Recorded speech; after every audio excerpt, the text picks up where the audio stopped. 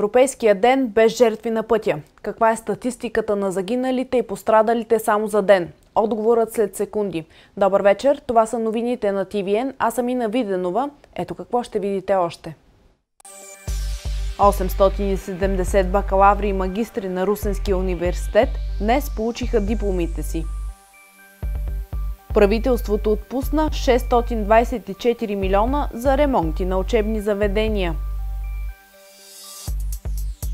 Популацията на египетския лешоят на Балканите е намаляла с над 80%.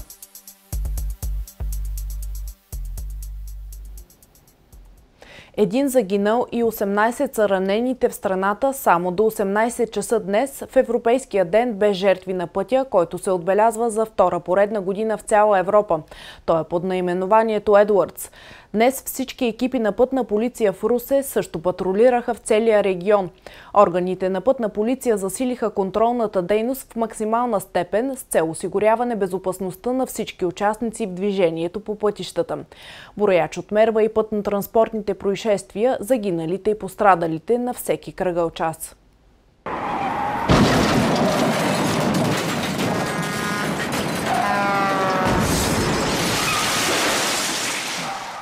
Най-честите причини за пътно-транспортни происшествия са несъобразената скорост и неправилното изпреварване, каза днес старши инспектор Стилиан Станев от Трусенския КАТ. Статистиката от началото на 2017 година до 29 по оперативни данни, че на територията на област Руси са настъпили 1065 пътно-транспортни происшествия, от които 248 тежки, при които са пострадали 336 човека и 12 загинали. Радостното е, че е, за същия период на миналата година имаме намаляване на броя на тежките ПТП-та, намаляване броя на ранените и най-важното намаляване с 10 броя на загиналите. В 24-часовата акция пътните полицаи ще следят за спазването на ограниченията на скоростта, употреба на алкохол, наркотици, за рискови изпреварвания, както и наличието на колани. Проверка на документи, е, поставянето на обезопасителен колан, управлението на МПС без употреба на алкохол, е, наличие на е, задължителна страховка гражданска отговорност, Екипите са наставени места за работа на участъците с концентрация на пътно-транспортни происшествия, училища, детски градини, болници. С едноминутно мълчание, свещи и цветя по пешеходната пътека от професионалната гимназия по облекло също отбелязаха днешния ден. Днешния ден е посветен на това да няма жертви на пътя и това е всъщност и логото, което ние току-що правим нула, т.е. днес да няма жертви на пътя. Най-много пътно-транспортни происшествия в областта се случват на пътя Русе-Велико Търново, сочи още статистиката. По думите на старши инспектор Станев, този участък няма да бъде конфликтен едва след изпълнението на предстоящата рехабилитация и изграждане на магистрала по това трасе. С оригинална инициатива, областната дирекция на МВР в Шумен се включи в операция Едуард – Европейски ден без жертви на пътя. По време на 24-часова операция пътните полицаи раздават на шофьорите специални брошури. 3000 брошури с вид на книжки съдържат основните нарушения на пътя. За информация на водачите са отпечатани и предвидените от закона санкции и принудителни административни мерки. Включени са и последните влезли в сила изменения и допълнения от 9 юли тази година. Лично аз, моето наблюдение, смея да кажа, че водачите до голяма степен не че не познават закона, но самите санкции не ги знаят. Надявам се, че като видят какви са санкциите към настоящия момент, които в много отношения са завишени, и като глоби, и като лишаване, това по някакъв начин да ги направи малко по-предпазливи.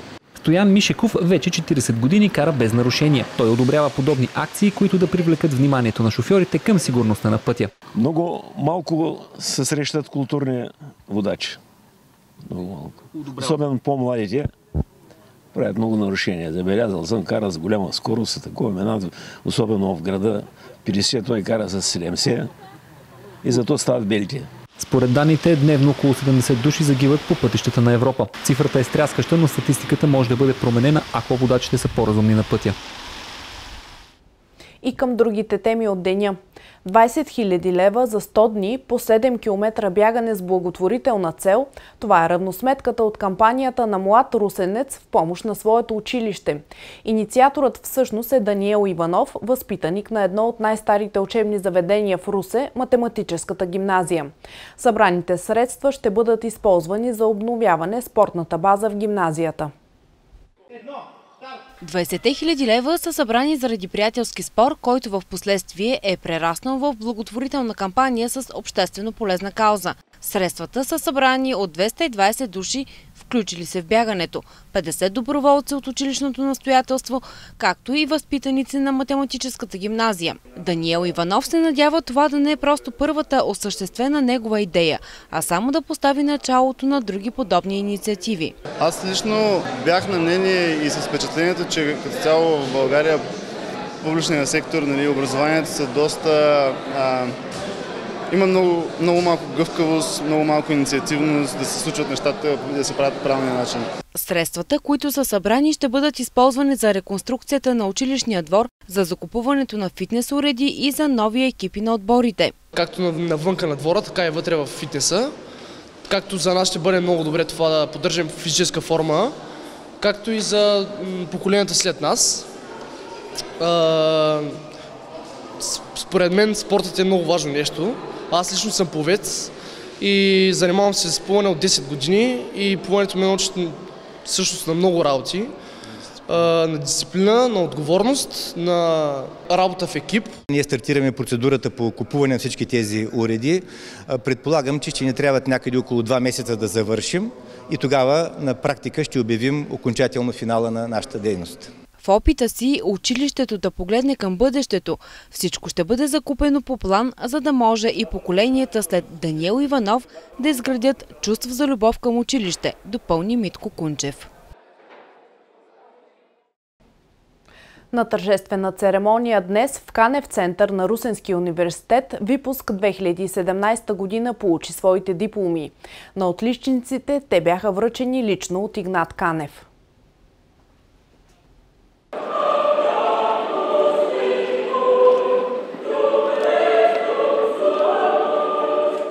870 бакалаври и магистри се дипломираха през тази година. 75 от тях са първенците на випуска и на различните специалности, а пълните отличници са 15. Аз мога да ви пожелая най-хубавото, най-доброто и бъдете винаги горди, че се от този университет завършили и паспорта, който го имате, ще опазите като зеницата си. Желая още веднъж от все сърце най-доброто, най-хубавото и бъдете добри българи, къде да отидете. Давам думата на компютърен инженер Теодора Йорданова, която е първенец на випуска. Теодора Йорданова вече е дипломиран инженер и е сред пълните отличнички на випуска. Тя завърши по специалността компютърни системи и технологии. Малко или много това, че и майка ми и баща ми са инженери, спомогна за това да изберат тази специалност. А и аз отраснах след компютрите и за мен това не е професия, за мен това е хоби, начин на живот. Теодора ще запомни всички хубави моменти, които имала с колегите си. Желание да напусне България няма, поне за сега. Идеята ми е да остана като тук, но като цяло не отхвърлям възможността и от България да работя за чужбина. Но обичам страната си, може би прекалено много и никога няма да я напусна. Георги Стоев е от Русе. Днес той получи магистърската си диплома по бизнес и администрация. За напред мисля остана в Русе. Града ми харесва и ще търся развитие тук. След тържествената церемония празникът продължи във всеки един от факултетите на университета. Правителството ще инвестира над 600 милиона лева в ремонти на учебни заведения в страната. Одобрените договори са по оперативна програма Региони в растеж до 2020 година. Правителството отпусна 624 милиона лева за подобряване на училищната инфраструктура и за саниране на училищни сгради. Ще бъде отделен и ресурс за спортните учебни заведения. Ремонтите ще обхванат 416 училища, както и 13 университета в страната, уточни министърът на регионалното развитие и благоустройството Николай Нанков на правителствено заседание днес. Предстои да бъдат изготвени проекти и да започнат ремонтите, които да направят сградите по-енергийно ефективни. Около 160 милиона лева ще бъдат инвестирани в професионални гимназии. Плана, освен капиталови ремонти, влиза и закупуването на училищно оборудване, както и професионално такова за училищата, които подготвят голяма част от учениците в страната. Продължаваме с новините от света. Броят на жертвите на земетресението в Мексико продължава да расте. Междувременно, масов бой доведе до ареста на близо 250 мигранти в Москва. Следват подробностите по тези и още новини събрани в хроника. Мексиканските федерални власти съобщават за нови жертви на труса с магнитуд 7,1 в Мексико. До момента от руините на срутените сгради са извадени телата на 238 души, след като броят на потвърдените смъртни случаи в столицата Мексико Сити се повиши до 100. 12-годишно момиче е било затиснато под руините на рухналото училище, където 21 деца загинаха. Спасителните екипи са във връзка с детето. Опитите за неговото спасяване продължават. Московската полиция е задържала близо 250 мигранти, взели участие в масов бой в близост до търговски център в югоисточната част на Москва. Източник от полицията, цитиран от взгляд, съобщава, че задържаните, които са предимно мигранти от Таджикистан, са предизвикали масов бой помежду си. До инцидента се е стигнало след като охранителите на търговския обект са нанесли побой над 27 годишен таджикистански гражданин, който е работил в търговския обект. Той е откаран в болница с множество наранявания и черепно-мозъчна травма. Държавните глави на България и Узбекистан Румен Радев и Шевкат Мирзиоев обсъдиха възможностите за насърчаване на економическия обмен и взаимните инвестиции между двете страни. Срещата между двамата се състоя в Нью Йорк. На нея президентът Радев изрази интереса на България да бъде част от динамичното економическо развитие в региона на Централна Азия, съобщи президентският прес-секретарият. От своя страна, Узбекистан приветства връщането на българските стоки и храни на своя пазар, подчерта Мирзиоев. Това е възможност повече смесени компании от двете държави да насърчат износа на суровини и продукти с по-висока добавена стойност от Узбекистан към Европейския съюз. Рекордните за септември 39,5 градуса по Целзий отчетоха термометрите в Истанбул, съобщава CNN Тюрк. В опит да се справят с жегите, жителите на мегаполиса изпълниха плажовете и басейните в района. От днес обаче се очаква понижение на температурите с 6 до 10 градуса. Останете с нас, за да видите още. Фалшификат ли са данните за защитени местообитания в Добруджа? ДНК анализ в Харвардския университет ще доказва дали кумани са обитавали Ряховец. Връщаме се отново у нас. От Националната асоциация Българско Черноморие подадоха сигнал до главния прокурор за фалшифицирани местообитания по Натура 2000 в Калиакра. Става въпрос за нашумелите покрай кризата в каварна Понто-Сарматски степи. Според експертите на асоциацията, това са западно-понтийски божурови степи, които за разлика от първите не са от европейска значимост. В началото на август каварници се вдигнаха на протест срещу заповед на министра на околната среда, с която се забранява земеделската дейност и строителството в защитена зона комплекс Калиакра. Тя обхваща 6 населени места в крайморските общини на Добрич. Само в община Каварна частните имоти, включени в Натура 2000, са 2490, а абсурдите са много, твърди кметът Нина Ставрева. Гробището в Тополо, асфалтовия път, който води към Калякра също е местообитание на степи, жилищни квартали, цялото селищно образование Божурец, което е урбанизирана територия от 1987 година. До подобен извод стигат и от Асоциация Българско Черноморие, които разпространиха декларация за фалшифициране на местообитанията по Натура 2000 в Калиакра от Зелени Балкани и Световния фонд за природата. Каварненци настояват новото картиране на зоните да се извършва на място, а не в софийските канцеларии, защото повече от месец те нямат достъп до научните данни от теренните проучвания. В каварна има изключително абсурдни неща, местообитание на животни и растителни видове, които а, никой не е виждал никога. Розовия пеликан давам за пример. Друг абсурд в плана за управление е, че а, за 67% от видовете, които са посочени в него, пише, че няма данни. Защо тогава са включени? Министрът на околната среда и водите Нено Димов ще се срещне с представители на Европейската комисия в Брюксел на 25 септември. От преговорите там до голяма степен ще зависи и решението на казуса Крайморска Добруджа. Първият фермерски пазар за чиста храна отвори врати в Добрич. Въпреки лошото време, знаковото място по часовниковата кула в Стария Добрич беше посетено от множество клиенти. Фермерският пазар е първата реализирана идея, споделена по време на форума Добрич в бъдеще време през май, където бяха обменени ценни идеи за развитие на града.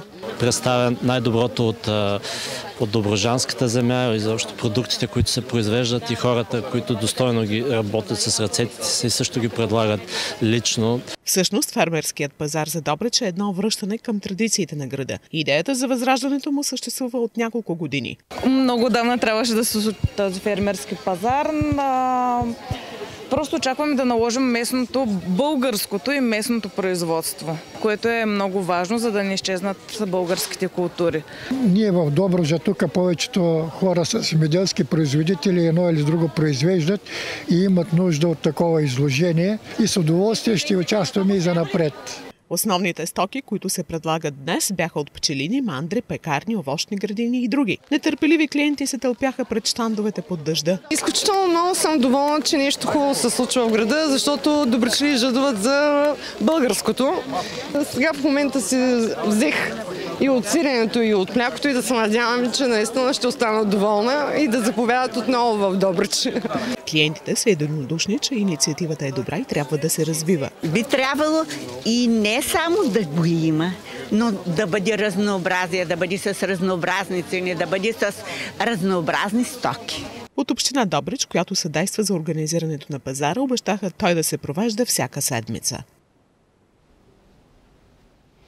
От днес започна работата по 5 блока, одобрени за саниране по Националната програма за енергийна ефективност в Нови пазар. Още три блока в града очакват старта на строителните дейности. Общата сума на дейностите за петте сгради е 5 милиона 139 хиляди 770 лева. Панелните блокове ще получат външна изолация и ПВЦ до грама, ще бъдат обновени и покривите им. Именно те са най-важни за Илян Николов. Той живее на последния етаж на блока на улица Стефан Караджа 38 и всички стаи има течове. Тръгна нали, от нас, стигна до четвъртия етаж, вече проби надолу към третия, то се намира място и Мъжът поема задачата да оглави Сдружението на блока и започва да събира подписи, за да може да се кандидатства за безплатното саниране. Самият той е реновирал своето жилище през 2007 година и открива подобрение и економия. Вече когато се запечата целият блок, нали, когато се сменя е, до грамата, когато се направят покривите таваните, понеже ще има а, изолация върху този, втория таван, който е. И надявам се вече да става още по-топло, като като е запечатан целият блок. И по-сухо. Очакванията на строителите са да успеят да завършат обектите за около 4 месеца. Ремонтите обаче започват в началото на есента и това тревожи собствениците. Никой няма да му бъде разбито жилището, нито ще му бъде изварен прозореца в виелицата. Всичко ще бъде стиковано, когато видим, че нещата не са добри и времето ни позволява да се работи, можем с протокол 10 да спрем изпълнението на строително-монтажните работи и при благоприятно време да отново да, да бъдат пуснати. Кметът Камаджиев посочи, че стартът на санирането в Нови пазар се е проточил заради административни забавения при служебното правителство. Общинска администрация направи всичко възможно по най-бързия начин да направи така, че да, да се съберем днес. След като направим всичко това нещо, е хубаво да се знае, че 341 домакинства ще реализират економии вътре в самото домакинство около 30%. Още три блока в Нови пазар чакат да започне санирането им. По думите на градоначалника, работата ще стартира в рамките на месец. И към една отрицателна тенденция. Популацията на египетския лешоят на Балканите за последните 30 години е намаляла с повече от 80%. Основните заплахи за вида са нелегалното използване на отрови, токовите удари от необезопасени електрически стълбове, унищожаване на местообитанията му, безпокойство и браконьерство. Именно за това лешоядите са се превърнали в един от най-застрашените от изчезване животински видове. Поне един ден в годината обществото трябва да бъде ангажирано с проблемите, които са свързани с лешоядите и тези проблеми са основно присъствието или отсъствието на човека. Обеден е уредникът на Екомузея с аквариум в Русе Красимир Киров. За да има повече информация сред обществото за изчезващия вид, в лапидариума на Русенския исторически музей за 8 пореден път беше отбелязан Международния ден на лешоядите. Близо 50 деца се запознаха с ролята и значението на изчезващия вид. Имаме така наречения кашонобол, в който всъщност той е лишоядобол, в който децата чрез топки, които са надписани с определени надписи, които отново засягат пак хранителния спектър, това с което се хранят четирите по принцип вида, които са срещали лишояди в България. И те буквално хвърлят тези топки в дупката на вида, с който той използва определена храна. Децата имаха възможността да се снимат като египетски лешоят, да изработят хартиени змии, костенурки, оклюви и други видове храна за застрашения вид. Както миналата година, така и тази беше обърнато специално внимание на египетския лешоят. Единствения, който се среща в Русенското поломие. Различното от миналата година, благодарение партньорите ни от Българско дружество за защита на птиците, ще имаме те нареченото птичо кино. Целта на инициативата е мълчуганите да се запознаят с проблемите на изчезващите видове и да бъдат възпитани в духа на опазването на природата. ДНК анализ, изпратен в Харвардския университет, ще установи кой е обитавал средновековната крепост Ряховец, която се намира край Горна Оряховица. Професор Дейвид Рейч от Института по генетика изследва гръбначния прешлен на индивид, чието гроб са открили до едно от жилищата в крепостта археолозите тази година. Резултатите от анализа ще излязат през 2018 година, а тогава ще стане ясно дали древната крепост е обитавана от кумански етнос в периода между 12 и 13 век. Археолозите са намерили няколко вида предмети, характерни за куманите. През този археологически сезон е продължило проучването на западната порта в крепостта, но за първи път са установени жилища, което е навело археолозите към хипотезата за куманското присъствие. Жилищата архитектура е сравнително, тя си носи до някъде този степен характер – в, точно в процеса на промяна, на осядане на този етнос, в която вече приема и а, заварените тук традиции. За последните два сезона в разкопките са участвали и около 70 ученици.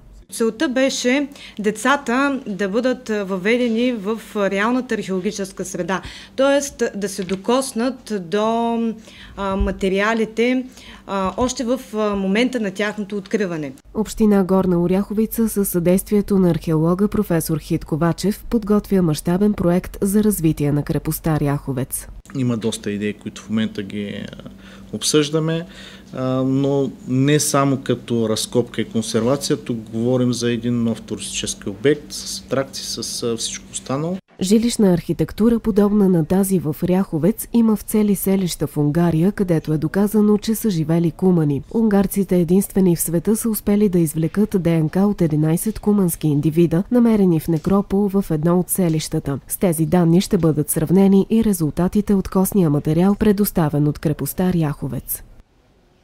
И в края на емисията Спорт Четирима русенски тежкоатлети ще представят България на стартиращото след няколко дни Европейско първенство за кадети и кадетки до 15 и до 17 години в Прищина, Косово. В състава на националния тим са включени Виктория Станева в категория до 53 кг и Хаят Весков в категория до 56 кг, които ще се състезават при кадетите до 15 години. Ангел Русев в категория до 56 кг и Цветелина Стоянова в категория до 58 68 кг ще се състезават при кадетите до 17 години. И четиримата млади штангисти са възпитаници на школата на ТСК Русе и треньорите Кръстина и Радослав Атанасови. Заедно с избраните от старши треньора на националния тим Иван Иванов състезатели, за Прищина заминава и треньорът Радослав Атанасов, който се включи в подготовката на тима в София още преди месец. Първата група от отбора заминава утре, а първото представене на русенските тежкоатлети ще бъде в неделя. Така се разделяме. Повече новини вижте на сайта ни TVN.BG. От мен и на Виденова приятна вечер. Останете с програмата на TVN.